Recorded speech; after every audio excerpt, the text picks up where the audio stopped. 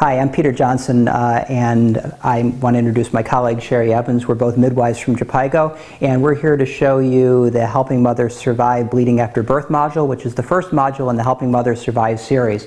Helping Mothers Survive is designed to take training to teams of individuals who are responsible for uh, managing childbirth uh, and helping them to develop the skills that they need to prevent the needless death of women uh, from those conditions that are most responsible on the day of birth.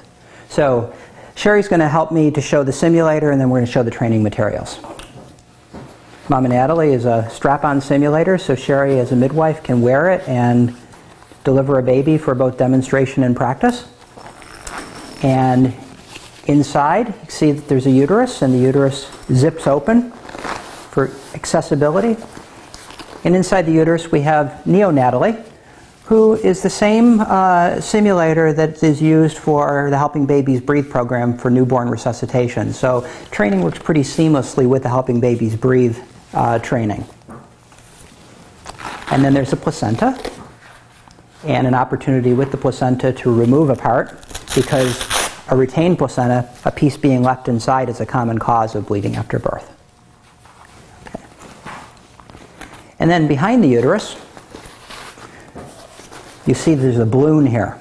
And this balloon allows Sherry to squeeze one side, and through the uterus and the skin, my being able to see that that uterus is firm. That's the way it's supposed to be after a birth. Or she can let that go, and all the all the air will go to the back, and the uterus will be boggy, which is what happens. It causes another common cause of bleeding after birth. And then Behind there, you'll see there's a reservoir that will hold up to a liter of blood. It's going to be refilled with uh, you know, red-colored uh, dye water. And Sherry can control the amount of bleeding based on the actions I take, whether they're appropriate or not. There's a, back here, just a lever to turn the bleeding up or down. Um, so the materials that we are using along with the Mama Natalie simulator are designed to be taken and left at the facility for the teams. We have a Helping Mothers Survive Provider's Guide which helps people to know what the standards are that they have to meet and helps them to go through the training that they need, prescribes the training they need in order to be able to do that.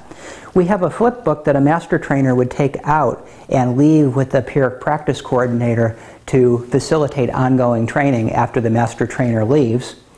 And we have a tricolored action plan, which is similar to one that's used for helping babies breathe, will be a cornerstone of helping mothers survive. Where we're trying to do is just like a stoplight, keep people in the green by preventing hemorrhage. In this case, recognizing there's a large area of yellow, which means there's a lot of actions that a provider, they make the right decisions, can use to keep the mother out of the red and get them back into the green, or at least get them to a higher level of care.